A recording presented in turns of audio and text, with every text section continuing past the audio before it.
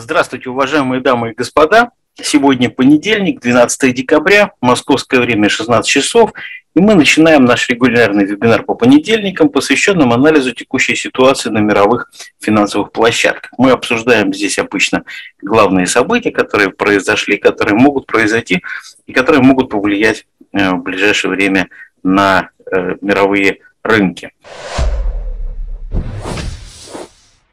Э, если вы хотите наблюдать данный вебинар не в записи на YouTube, как вы, очевидно, это делаете сейчас, а если вы хотите принимать непосредственное участие в вебинаре, задавать вопросы, получать на них ответы в режиме реального времени, вам нужно найти сайт нашей компании instaforex.com, компания Instaforex, э, найти сайт нашей компании, э, по поиску найти э, расписание вебинаров, зайти в этот день Э, каждый понедельник в 16.00 по московскому времени зайти э, в расписание вебинаров и по ссылке пройти, и вы попадете на наш вебинар, будете здесь участником и получите возможность э, сказать, задавать ваши вопросы и получать на них ответы. Моя фамилия Макаров, зовут меня Михаил, я работаю в компании Instaforex аналитиком и преподавателем. Итак, мы начинаем. Как я уже сказал, сегодня понедельник, то есть у нас начало новой недели, и э, можно сказать, что э, эта неделя, в отличие от предыдущей, э, предыдущая неделя была такая, в принципе, достаточно проходная, а эта неделя будет неделей больших новостей. Э, поэтому э, после такой недели, так сказать, как бы в ожидании, ничего нет странного, что рынки, так сказать, находятся у нас в состоянии некоторой консолидации. Ну вот если мы например, э, посмотрим на американский фондовый рынок, вот э, его э, у нас график вот у нас в левом нижнем углу расположен, то мы увидим, что у нас был достаточно большой рост, который произошел 10 ноября. И вот с 10 ноября у нас рынок по S&P 500 залег в такой диапазон, который находится между 3927 и 4085. Да, вот в этом диапазоне э, примерно 150 пунктов по S&P 500, э, так сказать, рынок и колебался. У него был достаточно приличный рост, и казалось, что вот произойдет э, продолжение роста. Это был 30 ноября, то есть почти две недели назад. Рынок даже вышел выше всех трех ключевых средних. Вот последняя выше всех была 200-дневная средняя. Он вышел, он закрыл там день он закрыл выше этого еще два дня, выше этой средней, но, тем не менее, потом скатился на поддержку в виде 100-дневной средней, и вот уже э, сегодня пятый день, который находится, э, рынок находится в этой поддержке. Вот такая у нас картина, например, по американскому фондовому рынку. Если мы посмотрим на европейскую валюту, то тоже европейская валюта у нас показала отскок от, э, от дна, сейчас я вот точно по дате посмотрю. Отскок одна европейская валюта показала у нас тоже 30 ноября. Вот э, она, э, значит, европейская валюта пошла наверх. Вот, но потом э, буквально у нас это было со 2 декабря, то есть 10 дней европейская валюта находится в достаточно узком тоже диапазоне от 1.0450 до 1.0580.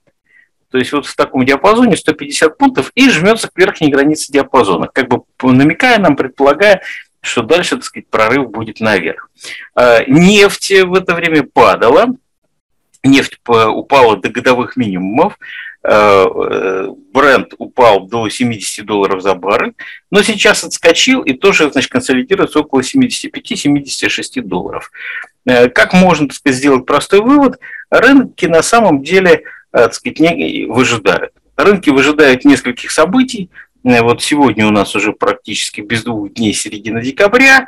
А с учетом того, что год, фактически активный торговый год э, в странах Запада кончается, конечно, в Рождество, а это с 25 на 26 декабря, то есть у нас фактически остается, грубо говоря, две недели торговли, и понятно, что вот эта неделя, она будет определяющей так сказать, именно в связи с тем, что выйдут очень важные новости. Итак, что же выйдет на этой неделе? Да? То есть мы показали, что вот у нас рынки как бы залегли в некоторый такой диапазон, и вот куда выйдут этот набор новостей, особенно если он выйдет некоторым таким однозначным образом, это задаст э, сказать, движение до самого Рождества.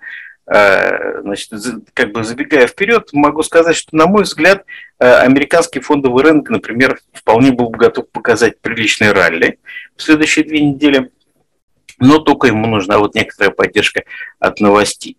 Что будет с европейской валютой, это чуть более сложная задача, но все-таки, вероятно, если рынок американский пойдет наверх, то, американский, то европейская валюта тоже как бы э, по некоторой корреляции и иногда, так сказать, работающий попытается показать некоторый рост, но, но возможно, так сказать, там картина будет другая. Итак, на этой неделе три главных новости. Э, первое, значит, завтра уже не сегодня, сегодня практически проходной день, завтра вот во вторник, 13 декабря, выйдет э, э, инфляция, розничная инфляция уже за ноябрь. Индекс CPI, инфляция розничных цен. Прогноз состоит плюс 0,4% и базовая инфляция плюс 0,3%.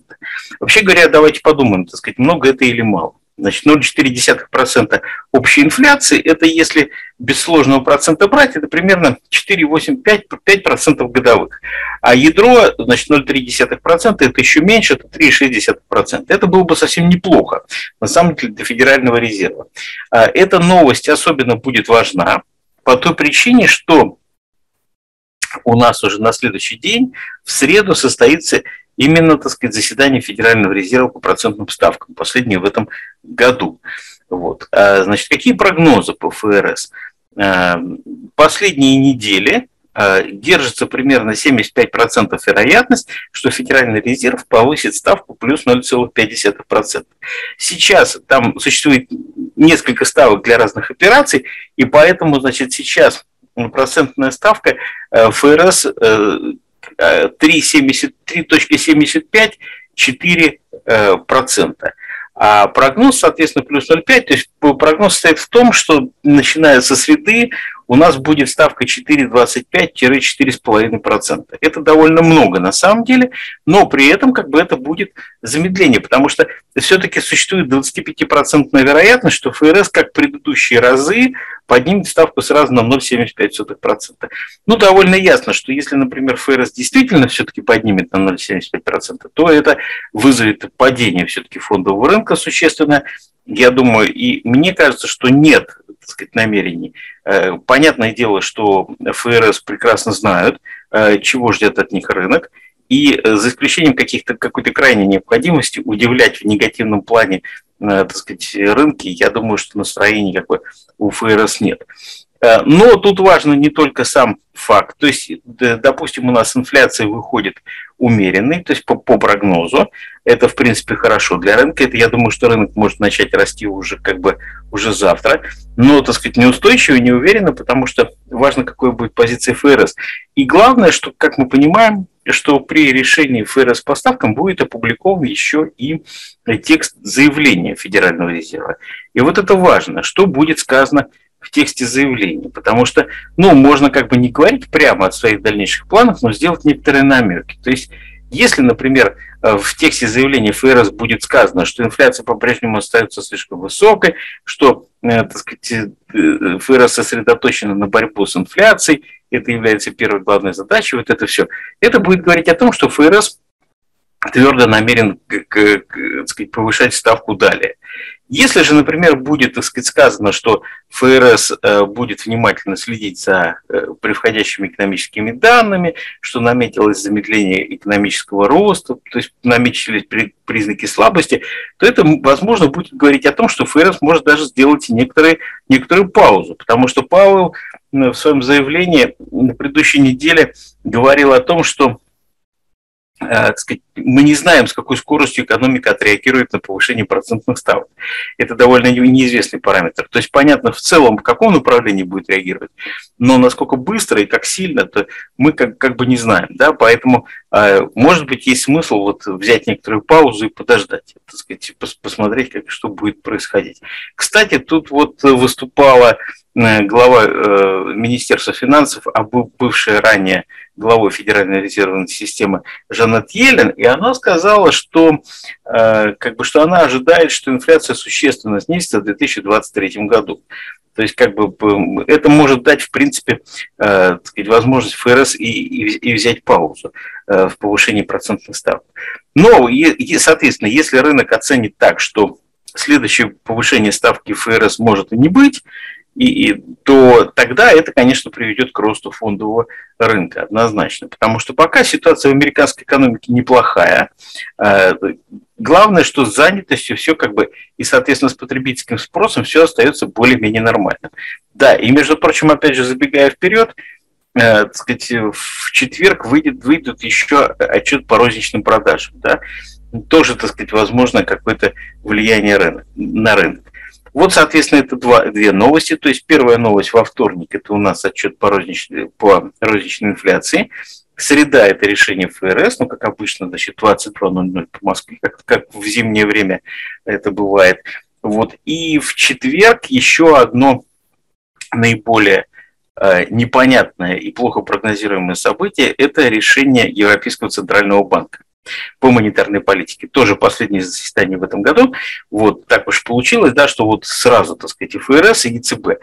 Вот. И вот у ЕЦБ э, существенно как бы более плохо прогнозируемая ситуация и существенно более сложная для принятия решений. В чем проблема? Э, так же, как и в Соединенных Штатах, у э, Европейского центрального банка есть проблемы с инфляцией. Например, в Германии там инфляция за последние там э, месяц-полтора выходила от 10% до 8%, да, то есть больше 8% роз... инфляция розничных цен совершенно точно. Понятно совершенно, что это очень далеко от цели Европейского центрального банка в 2,5%. И с этой точки зрения нужно повышать ставки, и вообще как бы тут нет никаких разговоров. Но, с другой стороны, в связи с резким скачком цен на энергоносители, э, сказать, особенно там для промышленности, это огромная там проблема, э, сказать, наблюдается явное замедление экономической активности. Вот, например, в Соединенных, э, в, в Британии, хотя она не является членом Европейского Союза, тем более не является членом зоны евро, вот, э, значит, вот последние данные показывают, что ожидается на 2,5-3% падения промышленного производства на следующий год. Это довольно много. Вот. Э, соответственно, европейской экономики тоже будет э, замедление, это совершенно точно. И тут можно сказать, что на самом деле не факт, что стандартные методы, э, ведь э, не факт, что стандартные методы являются оптимальным способом борьбы с инфляцией в этой ситуации. Ведь что такое борьба с инфляцией и повышение процентных ставок? Это означает, что у нас цены слишком быстро растут, так сказать, и мы охлаждаем спрос, увеличивая стоимость кредита. То есть кредит дорожает, э, спрос на кредиты падает, соответственно, спрос конечный тоже падает, спрос конечный падает, соответственно, снижаются цены, э, так сказать, розничные, цены производителей замедляются, э, так сказать, инфляция тормозит. Но это все хорошо работает в том случае, если причины, так сказать, и это вот в России, например, проходили очень хорошо несколько раз, это хорошо работает, если инфляция вызвана, например, просто увеличением количества денег на руках у конечных потребителей. То есть э, быстрый, быстрый рост экономики, рост заработных плат, рост доходов, соответственно, э, так сказать, э, рост спроса, производители не успевают поставлять товары, цены растут, вот это вот, это, да, тут хорошо работает повышение процентных ставок.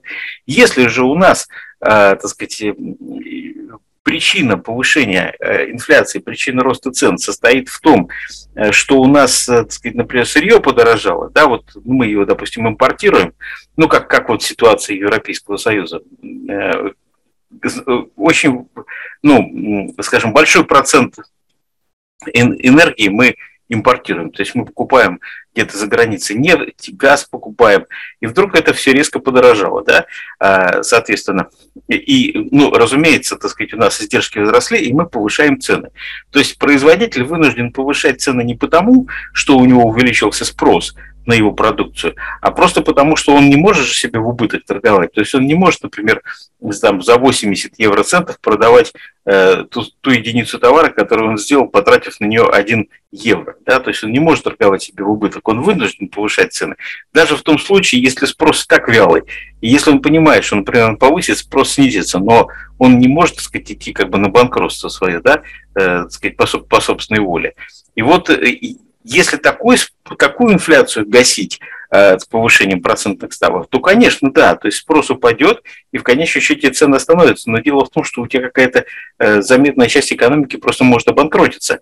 И, соответственно, так сказать, это будет иметь негативные последствия для экономики серьезные в будущем. Вот. Соответственно, вот жесткая дилемма стоит перед Европейским центральным банком. И вот как раз э, буквально в последние часы а, например, там э, в Reuters э, было опубликовано э, сообщение от Европейского центрального банка, что они провели, так сказать, тесты, ну, в связи вот с этой ситуацией, провели тесты как бы на риск-менеджмент в крупных банках. И, так сказать, увидели, что, на их взгляд, недостаточно принимаются, так сказать, мер для защиты от риска, на случай, например, каких-то э, нехороших событий в экономике. В частности, например, э, на случай, так сказать, резкого падения цен на недвижимость, в том числе, например, на офисную. Потому что, ну, понятно, что банки, например, могут давать кредиты под залог объектов недвижимости, но если эти объекты резко подешевеют, то, это, то банки столкнутся с необходимостью требовать э, увеличения залога у клиентов, Э, сказать, залогов этих может не быть. Кроме того, там проблема состоит в том, что в ситуации вот этого эм, э, ситуации с коронавирусом Европейский центральный банк выдал э, банковской системе примерно 2 триллиона евро э, сказать, дополнительных кредитов. Э, но эта линия закрылась, и вот 800 миллиардов евро уже возвращено, и банкам придется замещать эти, так сказать, с рынка привлекать ресурсы. Но поскольку ставки довольно высокие, то затраты банков существенно вырастут. И может так получиться, что банки будут вынуждены привлекать э, так сказать, э, ресурсы для финансирования своих, так сказать, своих кредитных линий по под существенно более высокие цены, и э, банки могут начинать, например, нести убытки с соответствующими последствиями как бы для самих банков. Вот, вот весь этот букет проблем, он стоит перед Европейским центральным банком, у которого в четверг, еще раз скажу, решение по процентной ставке. И вот с одной стороны, так сказать, с точки зрения инфляции, Европейскому центральному банку нужно повышать ставку, а с другой стороны, так сказать, это будет дополнительный удар по экономике, которая и так находится в очень сложной ситуации в связи с резким э, повышением цен на энергоносители. Поэтому я думаю, что здесь э, даже более вероятно, чем в ситуации с Федеральным резервом, что Европейский центральный банк может либо обойтись каким-то, например, символическим повышением ставок, либо, например, просто пропустить этот момент для того, чтобы, так сказать, посмотреть, что будет дальше с экономикой. Вот такая ситуация. Но пока мы видим, да, вот что происходит вот с европейской валютой прямо сейчас, 1.0570. То есть европейская валюта упорно пытается, так сказать, двигаться наверх э, спекулятивным образом. Но мне кажется, что потенциал этого небольшой. А, да, безусловно, особенно если европейский э, центральный банк, например, повысит ставку, это может быть еще какой-то скачок. Не знаю, правда, как вот евро поведет себя на повышении ставки ФРС э, в среду завтра. Это вообще большой вопрос неопределенный. Может, конечно, быть показано и, например, и 1.07, и даже, может быть, там в максимуме там 1.08. Но я, вообще говоря, выше не вижу. И после этого я вижу существенный, так сказать, э, разворот и э, сказать, снижение, поскольку все равно фундаментально европейская экономика сейчас очень слаба. Ну и, соответственно, нет, ну и, и, и понятно, что э, соответственно, Европейский центральный банк не будет в этой ситуации гнать ставку наверх вообще, так сказать, ни на что не обращая внимания. Следовательно, и вот это вот э, рост евро, он носит такой как бы локальный характер. То есть я воспринимаю евро как в текущих местах, находящийся у верхнего края диапазона. И я все равно, так сказать, считаю, что ну, в дан, при данных уровнях все равно э, выгоднее и, и менее опасно разыгрывать э, э, всякие, как сказать, всякие стратегии на продажу. То есть, например, продать от текущих практически небольшим объемом, потом где-то пунктов через там пунктов через 80 в случае роста, надо сказать, перепродать Э, более высоким объемом, если дальше пойдет еще пунктов через там 60-80, еще раз перепродать, в расчете на то, что произойдет вот серьезный на самом деле вот коррекционный слив, который может вообще превратиться в, существенно большое движение и может, так сказать, пойти вот в сторону, опять же, минимумов по европейской валюте. Это вот я так себе представляю ситуацию там с евро-долларом. Ну, а вот по, американс... по американскому рынку я все-таки предполагаю движение наверх. И вот какой-то участок, конечно, в случае движения резкого наверх фондового рынка это может потащить за собой евро.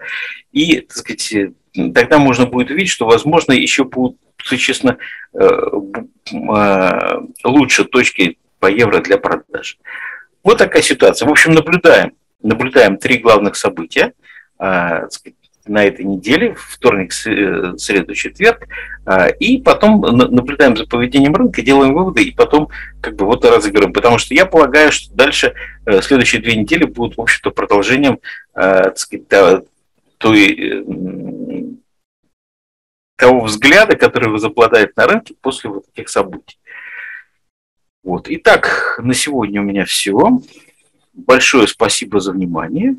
И до следующего понедельника. Спасибо вам э, и до свидания.